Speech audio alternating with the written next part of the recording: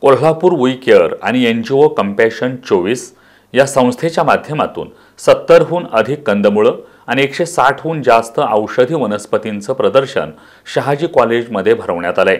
या प्रदर्शनाला दुसऱ्या दिवशीही नागरिकांचा उत्स्फूर्त प्रतिसाद मिळाला. कोल्हापूर वी केअर आणि एन जी ओ कॅम्पशन चोवीस या संस्थेच्या माध्यमातून शहाजी कॉलेजमधील सभागृहात सत्तरहून अधिक कंदमुळांचं आणि एकशे साठहून अधिक औषधी वनस्पतींचं माहितीपूर्ण प्रदर्शन भरवण्यात आलंय. या प्रदर्शनात सताप गुगुळ कुसर कोष्ट कोलिजन लक्ष्मीतरू सागर गोटा बेडकीपाला अक्कलकारा दमवेल काजरा या दुर्मिळ अशा औषधी वनस्पती तसंच कणगा काटेकणग कोराडू करंदा वराहकंद वासकंद पासपोळी शेंडवेल आळशी शेवळा सुरण या वनस्पतींची कंदमुळं विविध प्रकारच्या हळद ठेवण्यात आलेत. हे प्रदर्शन आयोजित करण्यामागचा उद्देश डॉक्टर अशोक वाली यांनी स्पष्ट केला. उद्देश असा आहे की आपल्याकडे फक्त बटाटा किंवा काही किरकोळ कंद माहिती असतात खाण्यामध्ये आपल्याकडे आहारामध्ये असतो.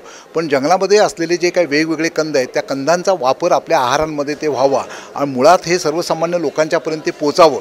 हे कंद खाण्यासारखे आहेत यातनं आपल्याला बरेचसे जीवनसत्व मिळतात. हे सर्वसामान्य लोकांपर्यंत पोचावं ह्या उद्देशानं हे कंद आपल्याला भरवले आहेत जंगल आपल्याकडे पश्चिम घाटामध्ये अनेक प्रकारचे कंद पाहायला मिळतात. तिथले आदिवासी लोक ते खातात त्यांच्या आहारामध्ये ते असतं.